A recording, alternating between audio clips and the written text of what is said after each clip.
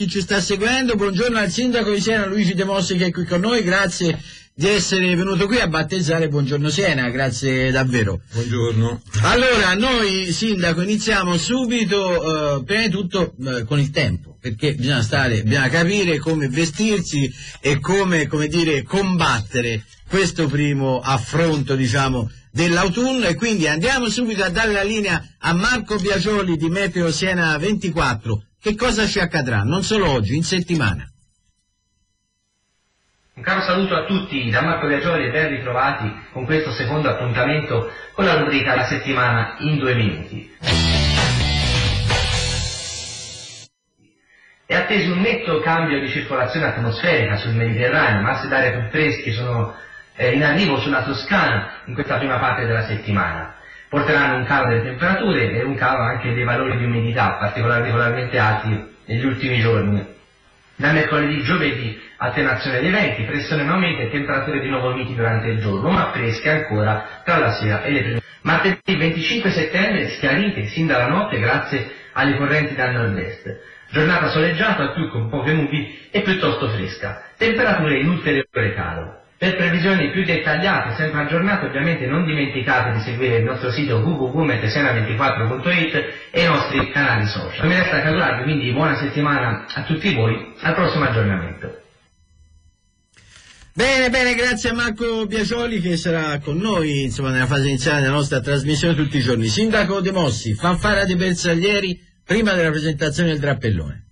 Sì, eh, considerando che il centenario della fine della Grande Guerra mi pareva c'è stata questa disponibilità che io ben, ben volentieri accettato perché mi pare sia un, un giusto corollario diciamo, a una, a, alla fine del, della guerra più sanguinosa che, che, abbiamo, che, abbiamo, vissuto noi in Europa.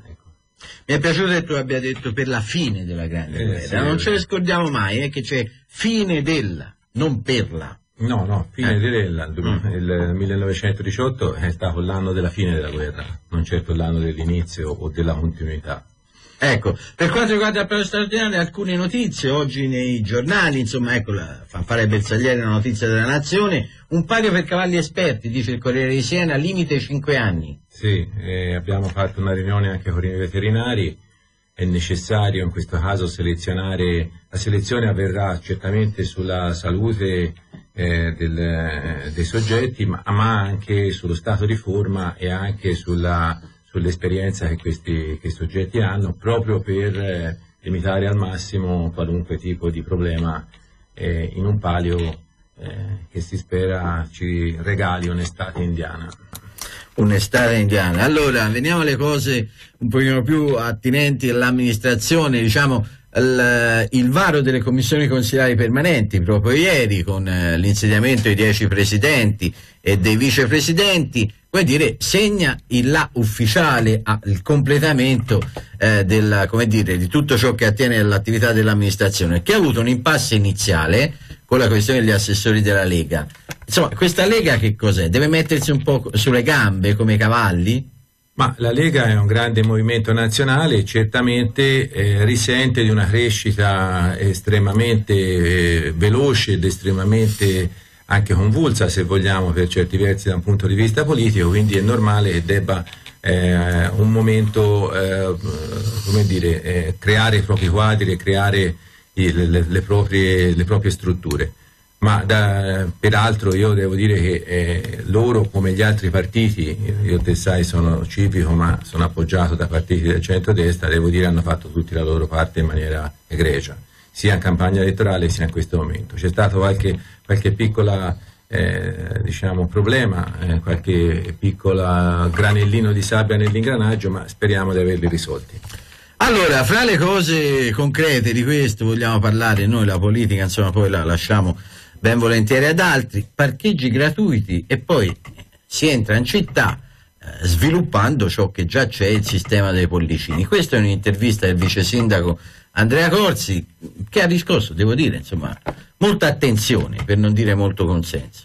Ma sì, noi, il nostro obiettivo è quello, è quello, di modificare una mentalità e anche una cultura. Eh, noi per la mobilità vogliamo vogliamo creare delle, dei, dei posteggi scambiatori che consentano alle persone di lasciare a una certa distanza dalla città le macchine per poi arrivare con mezzi pubblici, non solo pollicini, ma nel tempo anche utilizzando quelle tratte senza, senza rivoluzione, senza pensare all'alta velocità, quelle tratte di ferrovia che già esistono. Perché secondo me il futuro delle città eh, smart, per usare questo termine oggi anche un po' abusato, è proprio quello di consentire un trasporto pubblico facile, veloce, celere e continuo che consenta alle persone di lasciare la macchina a casa e di utilizzarla solo per i grandi spostamenti. Allora andiamo subito a collegarci con il direttore di Radio Siena TV, Matteo Borsi, perché ci deve dire che cosa farà la redazione in questa giornata. Andiamo. Buongiorno Daniele, a te e a tutti i telespettatori. Anche oggi la nostra redazione sarà impegnata su molti fronti, molti saranno gli argomenti che eh, tratteremo. Tra gli appuntamenti più importanti, senza dubbio, la presentazione di Bright, la notte dei ricercatori. Questa mattina ci sarà appunto una conferenza stampa che seguiremo e che eh, potrete trovare ovviamente nei nostri appuntamenti informativi, nella quale verranno presentati tutti gli eventi della notte dei ricercatori. In programma, lo ricordiamo, per venerdì 28 e sabato 29. Saranno 79 gli eventi nelle vie e nelle piazze della nostra città e 220 i ricercatori impegnati in questa bellissima iniziativa. Ehm, tra le altre cose, senza dubbio, un tema che sta tenendo banco in questi giorni ed è davvero molto importante è quello che riguarda la Roburziena.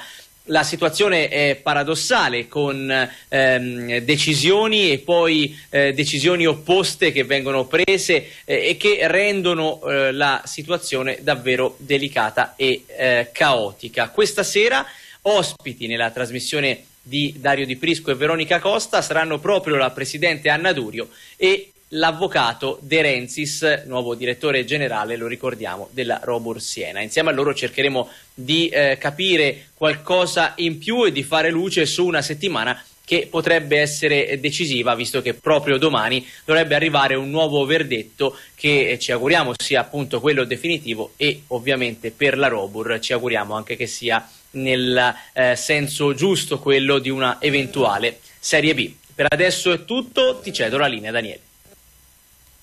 Bene, grazie al direttore Matteo Borsi, il direttore si sveglia presto, segno buono, io mi svegliavo un po' più tardi, vabbè, a parte gli scherzi. Una cosa che ha destato un altro eh, interesse insomma, nei cittadini è questa idea, basta con l'attracco dei bus turistici a Porta Romana. Io frequentando quella zona dico finalmente.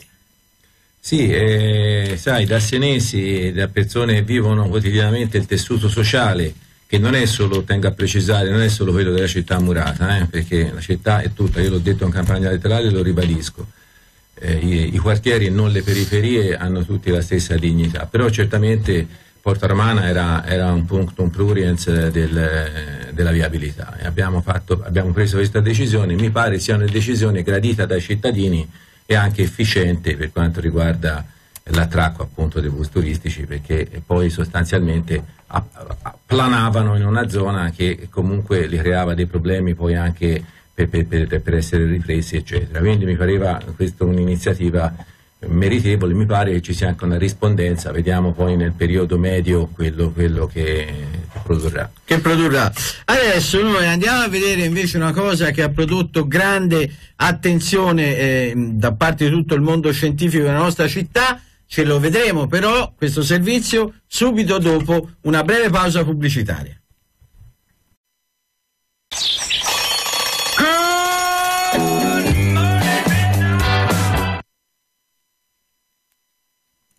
Bene, bene, eccoci qui, siamo tornati. Allora, andiamo alla tassa di soggiorno. C'è stato subito un cambiamento. Siamo, come dire, in questa fase dei primi 100 giorni, perché scadono fra eh, 7 giorni, qualcosina fatta, tipo la tassa di soggiorno.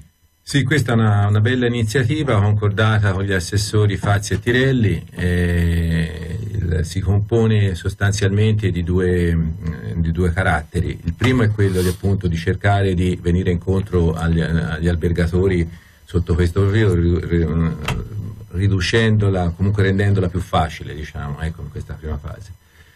Il secondo aspetto è quello di far emergere il, la tassazione di tutta una serie di meccanismi legittimi, ma eh, però in questo momento invasivi, eh, di accoglienza nella nostra città, eh, che noi sappiamo poi eh, però fino a che non vengono normati e regolamentati poi non ci pagano le tasse, quindi è un modo per fare una concorrenza in debita ed è anche un modo per far emergere il sommerso, ripeto, che secondo me potrà portare alle, alle casse molti soldi.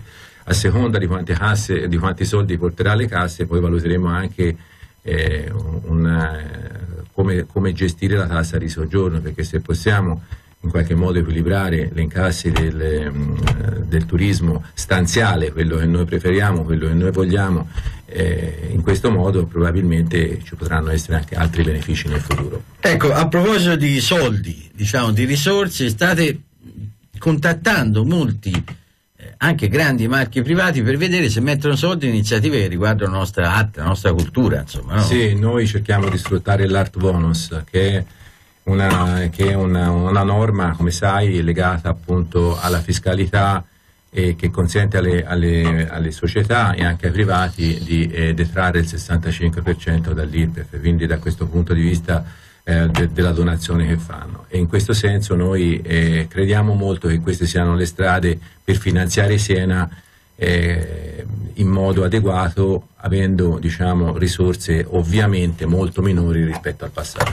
Vediamoci un attimo questa cosetta che ti riguarda. Allora noi nella nostra trasmissione avremo eh, i nostri opinionisti che si occuperanno di varie cose, di quello che pare a loro ovviamente eh, Fiorino Iantorno si occupa di comunicazione, si occupa in particolare di come anche la politica, come dire, si comunica. Vediamo. Buongiorno Siena. Riprendiamo Saluti da Siena dove avevamo lasciato. Durante la campagna elettorale abbiamo analizzato la comunicazione social dei candidati che aspiravano a diventare primo cittadino di Siena. Ora abbiamo il nostro primo cittadino, Luigi De Mossi, a cui vanno i nostri auguri, in bocca al lupo di buon lavoro, e cerchiamo di vedere se Luigi De Mossi, che abbiamo visto durante i social network, durante la campagna elettorale, è uguale sui social a oggi a quello che è il suo nuovo ruolo di sindaco.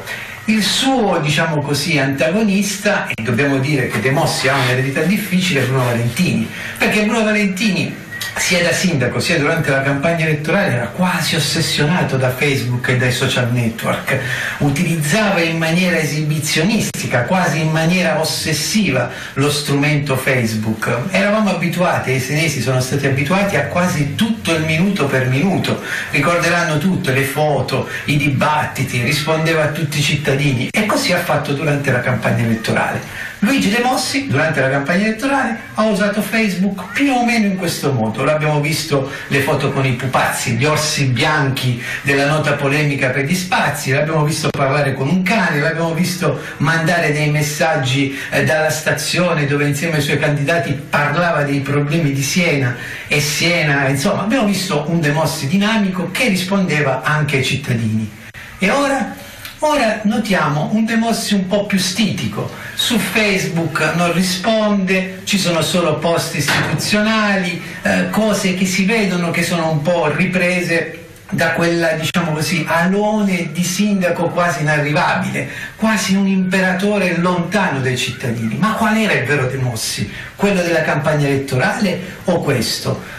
Qual è il ruolo di De Mossi oggi come comunicatore? Forse, avendo azzeccato tutto durante la campagna elettorale, perché ha vinto, aveva dei buoni consulenti, ma ora, ora come mai De Mossi non comunica? Vuole dare un'immagine più eh, austera? Vuole essere un sindaco meno esibizionista? Sicuramente è tutto lecito, però certo no, gli dobbiamo ricordare che un prodotto o comunque una persona deve essere più o meno simile a quella che i cittadini hanno votato. Questo perché altrimenti qualcuno potrebbe pensare che il primo dei mossi non, non è mai esistito o è semplicemente una copia e oggi abbiamo bisogno di realtà e dobbiamo, come noi cittadini, notare tutte queste cose e come ci dice la bellissima opera di Justin Pacer all'Orto dei Pecci, Open Mind, apriamo la nostra mente, saluti da Siena. Così Fiorino D'Antorno apriamo la nostra mente con la comunicazione del come comunicherà il sindaco? Facebook come Valentini oppure no? Ma guarda, io credo che eh, il cambio sostanziale fra la campagna elettorale e eh, il ruolo sia quello di amministrare. Quindi il, il, ragionamento che dobbiamo fare è principalmente un ragionamento amministrativo. Io eh, credo che, eh, contrariamente a... Io certamente in campagna elettorale mi sono confrontato con quella che era la realtà di quel momento. Però è anche vero che il senese in generale vuole un sindaco che rappresenti un'istituzione e quindi questo è il primo dato, vuole un sindaco in cui si riconosce, un sindaco eh, equilibrato, un sindaco non eccessivamente esposto. Questa è la nostra natura, come sai, il nostro DNA. Quindi, quindi è, una, è, una, società, sicura, guarda, guarda, la differenza fra noi, per esempio, e la zona dell'Aretino per quanto riguarda le vicende bancarie, il, il tipo di atteggiamento ben diverso. Io credo di aver interpretato il ruolo dell'antagonista di un sistema che, che, che si stava decomponendo in campagna elettorale. Oggi po- posso sbagliare perché non è che ho eh, sempre soltanto ragione, tutt'altro, anzi spesso sbaglio, ma... Eh, Oggi oh, interpreto un ruolo istituzionale, un ruolo istituzionale in cui i cittadini si devono riconoscere. Secondo me, mentre la campagna elettorale ha questo tipo di caratteristiche, l'amministrazione ne ha altre e questo è il ruolo che intendo interpretare. Fra l'altro, secondo me, il, il modo con cui, eh, mi permetto di dire, stava l'ex eh, l'ex contendente, eh, eh, quello che definivo il sindaco uscente e poi è uscito davvero in, in, durante la sua amministrazione è uno dei motivi per cui poi non è stato riconfermato.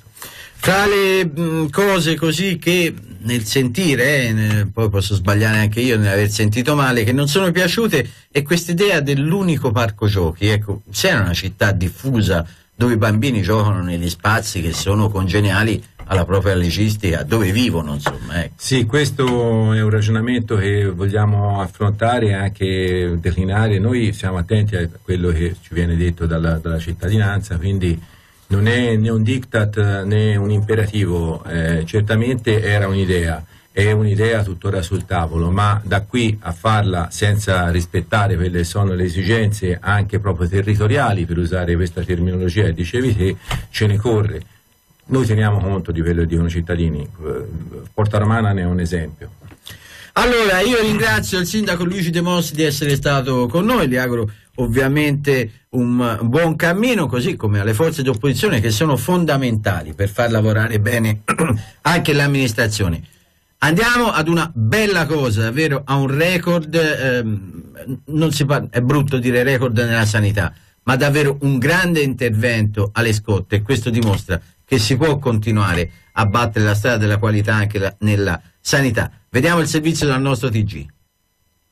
Ehm, la particolarità deriva dal fatto che normalmente una donazione viene effettuata in un soggetto che ha una morte cerebrale e quindi è come dire mm, un periodo di osservazione che possiamo definirlo eh, ben definito, in cui l'equipe che opera nell'accertamento della morte ha i tempi ben definiti.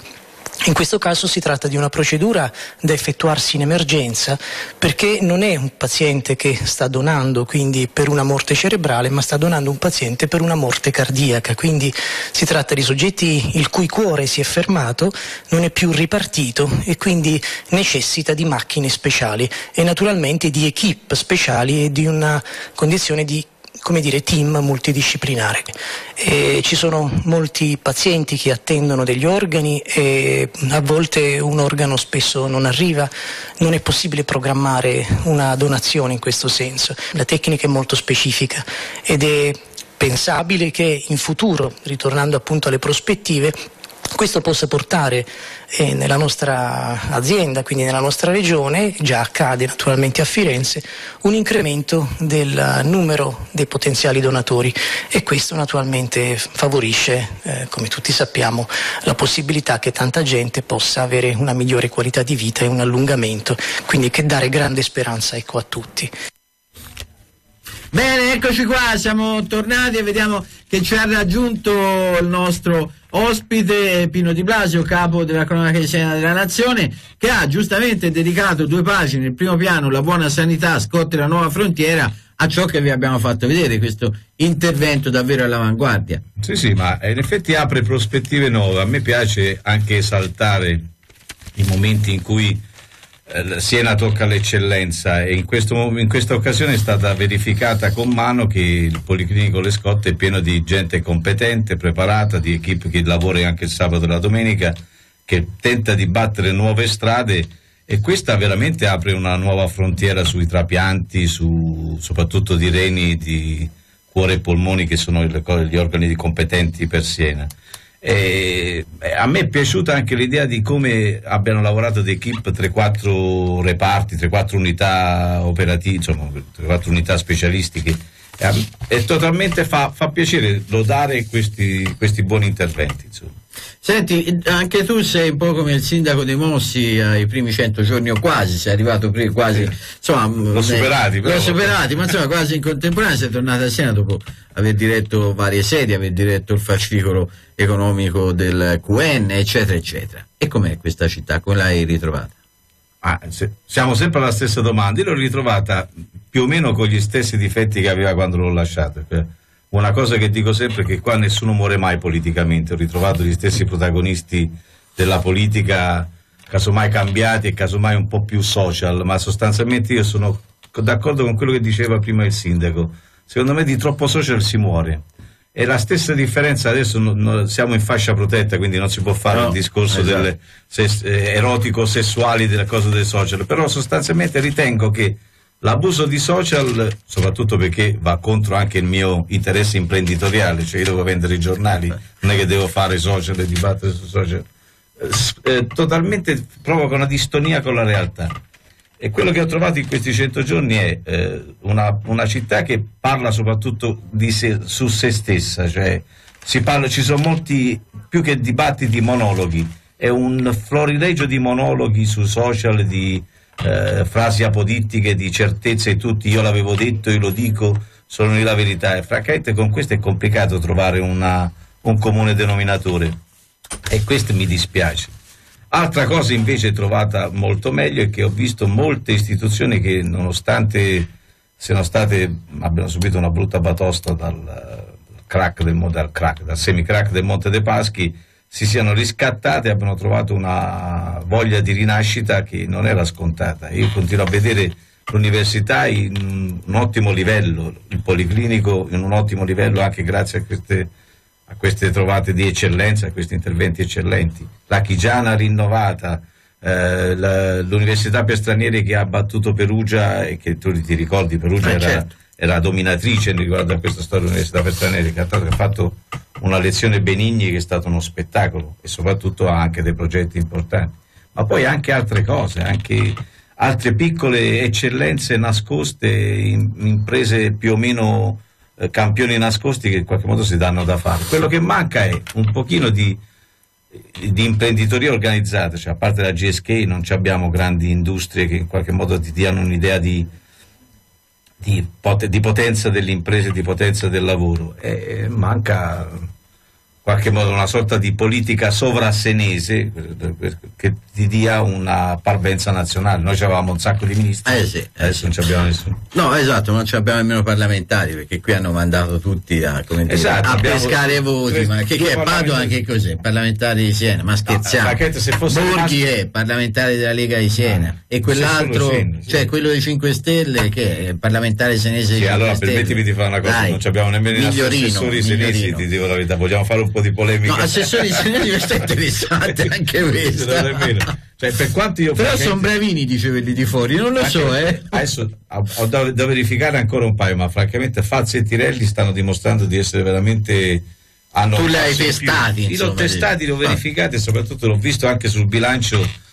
Questo è uno che ci capisce Fazzi, Tirelli è uno che pensa a una prospettiva anche sulla tassa di soggiorno di cui parlavi prima, l'accordo con Airbnb più o meno meglio di quello che ha fatto Nardella a Firenze è un bel, segna- un bel segnale per, per, per, dare un po' di decollo e per dare un esempio di cosa amministrativo. Però sono d'accordo, manca totalmente la parte politica. Forse la, il crollo del partito Stato, che in qualche modo ormai è totalmente in agonia, fa capire che, siamo, abbiamo bisogno di una scossa politica. È chiaro. E quella è una cosa che mi mancava, è proprio quello, scusa te lo dico, i giovani che in qualche modo hanno abdicato al loro ruolo. Cioè, quello che francamente, a parte la decisione sul palo straordinario, che è marcatamente generazionale. Ma non solo, eh, comunque, non solo Sì, dei, comunque, gio- giovani. diciamo è marcatamente insomma, generazionale, sì. questa è la mia, è Vabbè, una, la mia tua lettura. Esatto, può darsi che sia sballata. Ma la cosa che cosa manca delle giovani generazioni è proprio nella politica, nelle, nelle stanze del potere.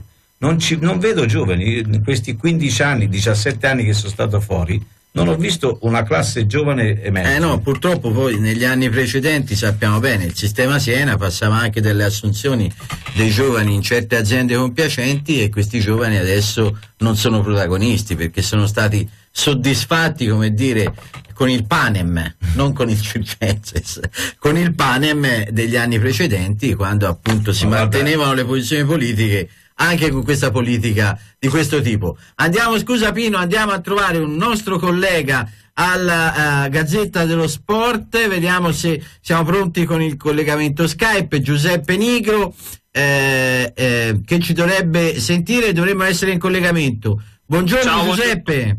Buongiorno a tutti. Eccoci qua, Giuseppe, buongiorno, grazie di essere con noi.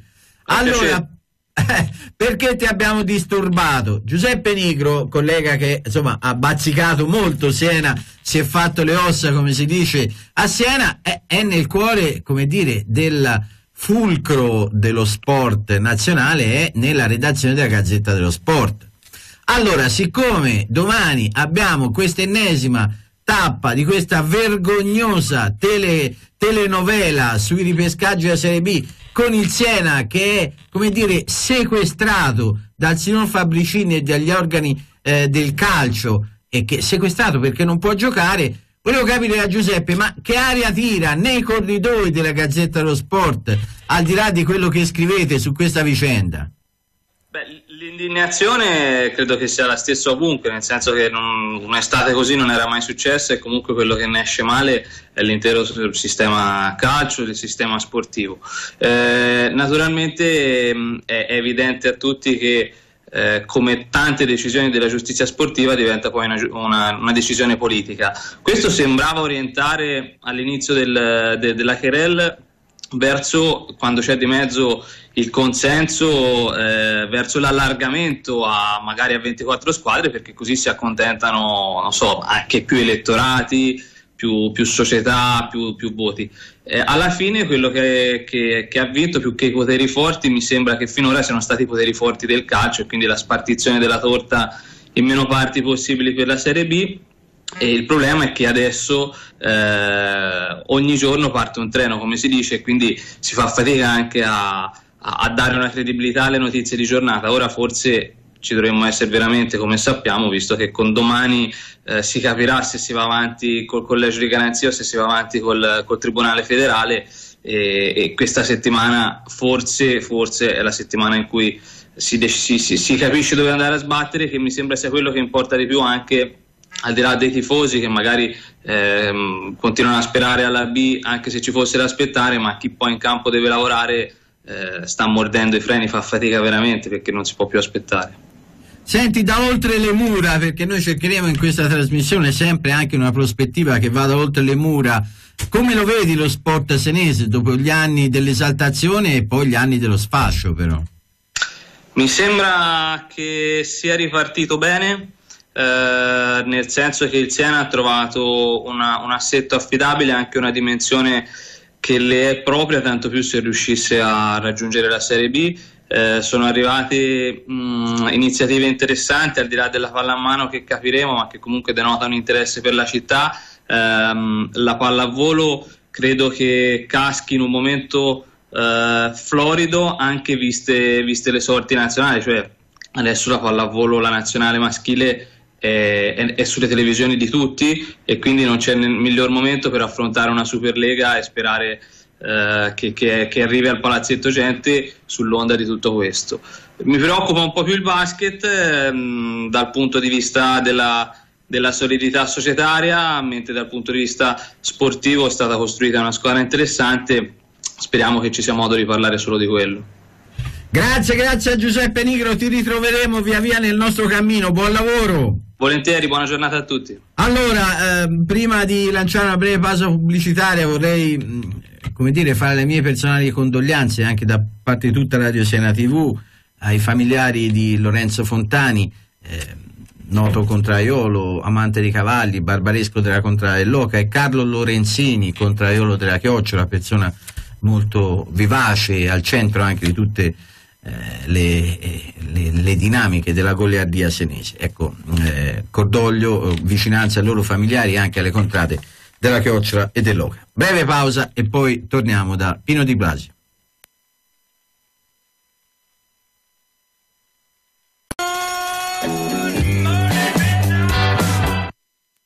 Eccoci qua con il nostro urlo di Good Morning Siena perché Siena a volte sembra un po' Vietnam. Eh?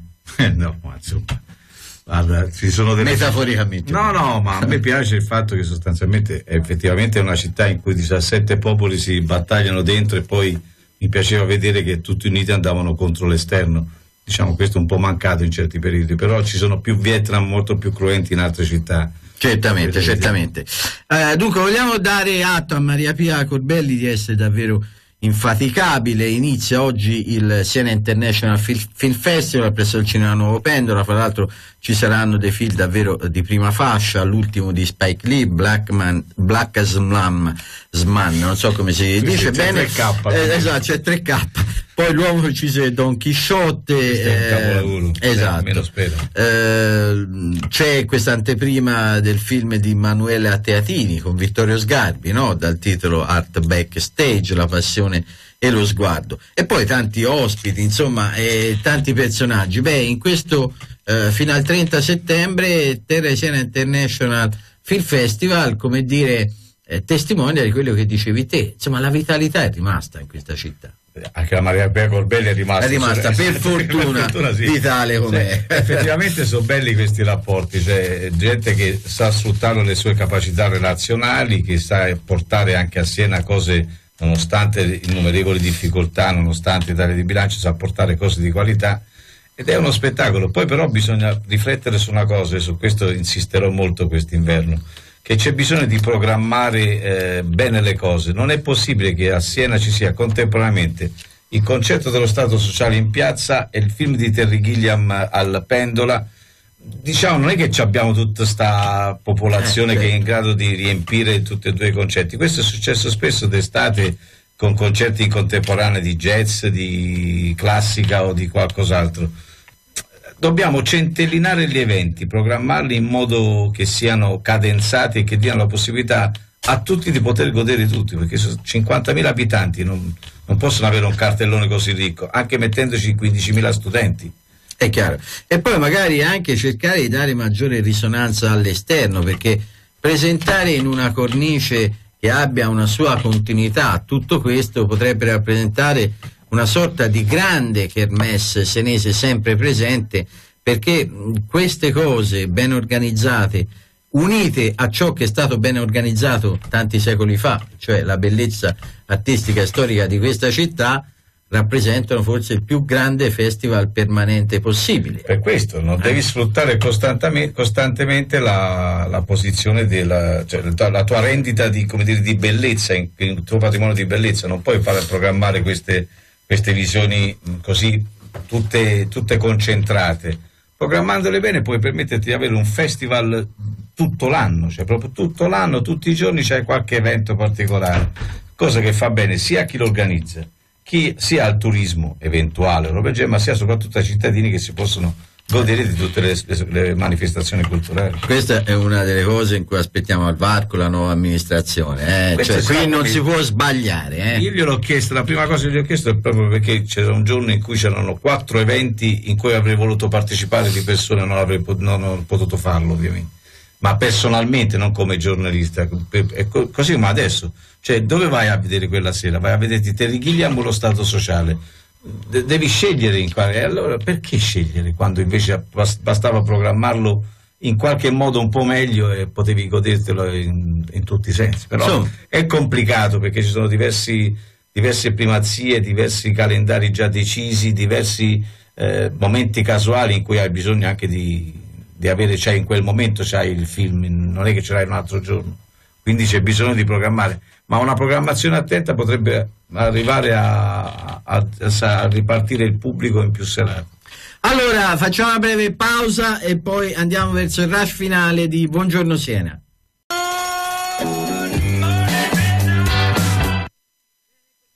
Allora, grazie a Pino Di Blasio, capo della cronaca di Siena della Nazione e ci ritroveremo via via, anzi lo diciamo, insomma, il martedì con Pino Di Blasio. È così?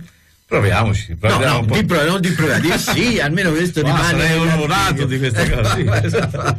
Va bene, grazie davvero a Pino Di Blasio. Allora, noi adesso ogni settimana cerchiamo di dare un po' un'occhiata anche alla nostra storia, andando, come dire, non a fare delle lezioni, ma con quel piglio, con quel modo a cui ormai ci ha abituato, molto, come dire, popolare, in cui si capiscono cose importanti della nostra cultura in modo anche molto piacevole. Duccio Balestracci in campo con la sua pillola in cerca dei personaggi della nostra storia.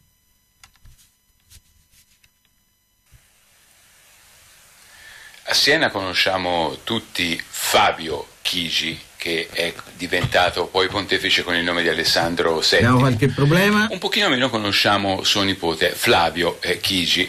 Eh, attenzione di Flavio Chigi ne troviamo tre nella storia della Chiesa perché lui fu poi eh, cardinale. Quello che ci interessa è il Flavio Chigi nato a Siena nel 1631, morto a Roma il 13 settembre, non molti giorni fa, 1693. È eh, un familiare di Alessandro VII, del futuro Alessandro VII, di Fabio Chigi, il quale se lo porta dietro, tra l'altro in Germania, eh, quando eh, svolge alcune sue eh, missioni diplomatiche per, le- per la Chiesa. E il momento di svolta nella storia di quest'uomo, di questo senese, avviene quando nel 1655 Fabio Chigi diventa pontefice appunto Alessandro VII. L'anno dopo il nipote prende gli ordini nel 1656 e fa una bella carriera perché nel 1657 diventa immediatamente cardinale, governatore di Fermo, governatore di Tivoli e viene raffigurato da un eh, pittore Jacob Ferdinand Voet come un ricciolone, morettone, eh, paffutello eh, con i baffini e con un pizzettino che lo renderebbe oggi estremamente figo, estremamente, estremamente eh, trendy. Il eh, nostro Flavio, il nostro cardinale Flavio Chigi, è, è prefetto del Tribunale della Segnatura Apostolica. La Segnatura Apostolica, il Tribunale della Segnatura Apostolica, dal XIII secolo, è il tribunale più importante della Chiesa e ha vigenza su tutto lo Stato del Papa fino al 1870. Ma in maniera particolare quest'uomo è un uomo di grandissima cultura. Fa ristrutturare dal Bernini il palazzo che a Roma oggi è conosciuto come Palazzo Odescalchi, è lui che fa costruire il monumento funebre allo zio in eh, San Pietro, è lui che eh, mette insieme una collezione di marmi antichi ehm, che vengono dagli scavi archeologici del Seicento e che poi vengono ristrutturati da artisti e restauratori eh, dell'epoca che mettono in piedi una mm, strabiliante collezione eh, di, di un mix di antico e di seicentesco che poi sarà venduta nel 1728 a Augusto il Forte, lettore di Sassonia, e se qualcuno oggi va all'Albertinum di Dresda ce la trova tutta lì come fondo costitutivo della collezione più importante, una delle collezioni più importanti eh, del museo. Se qualcuno volesse approfondire questa storia, c'è un bellissimo libro di Beatrice Cacciotti, una giovane eh, docente dell'Università di Roma, di Roma Tor Vergata. È un uomo di grande cultura che mette in piedi una biblioteca stratosferica, fatta di rarità prese dai conventi, dai monasteri, eh, da famiglie aristocratiche in crisi e che non se ne fregano più della, della cultura, manoscritti incunaboli cinquecentini, che diventa il nucleo fondamentale di quella che sarà conosciuta come Biblioteca Chigiana. La Biblioteca Chigiana è talmente importante che il Papa nel Novecento eh, vuole acquisirla, vuole acquisirla e non si mette d'accordo con il proprietario, con i Chigi, perché i Chigi vogliono, siamo all'inizio del Novecento, un milione e questa biblioteca verrà venduta nel 1918 per un milione e 800 mila lire dell'epoca, 1918, allo Stato italiano, esattamente 100 anni fa. Forse meritava un paglio straordinario, ma non entriamo in questo discorso. Bene, un grande uomo di cultura, un grande eh, cardinale vissuto a Roma che ha operato a Roma. Che c'entra con Siena, dite voi, a parte che eh, c'è nato? C'entra, c'entra, c'entra e parecchio. Restate sulle nostre frequenze domani mattina ve lo racconterà Mauro Martellucci quanto e come c'entra Flavio Chigi con la nostra città. Bene, grazie a Duccio Balestraccio, avete visto il gatto Serafo protagonista, come dire, e domani avete già sentito, anteprima ci sarà Maura Martellucci. Siamo, come dire, in fondo al nostro spazio di Buongiorno Siena, pronti a ridare la linea alla vera signora del mattino che è Sofia e quindi ciao Sofia. Sofia che, lo voglio dire, mi hai lanciato una specie di sfida. Sì, Dice tutte vero. le mattine, dimmi una canzone, io te la... Cioè, io oggi mi sono preparato parecchio, l'ho Ma hai trovato. fatto benissimo, almeno contestualizziamo. Esatto, capito? non è detto, a volte ti chiedo disperatamente aiuto, Sofia mettila te, insomma, no? Va Invece bene, allora- stamani ti ho detto una canzone, ora mi ricordo Questa mattina, guarda, tra l'altro sei andato a cercare una canzone bellissima, LSD con Thunder Clothes. Che facciamo? Ce l'ascoltiamo? Vai. Perché ha a che fare, no? Con questa mattinata. E allora, eccola qua.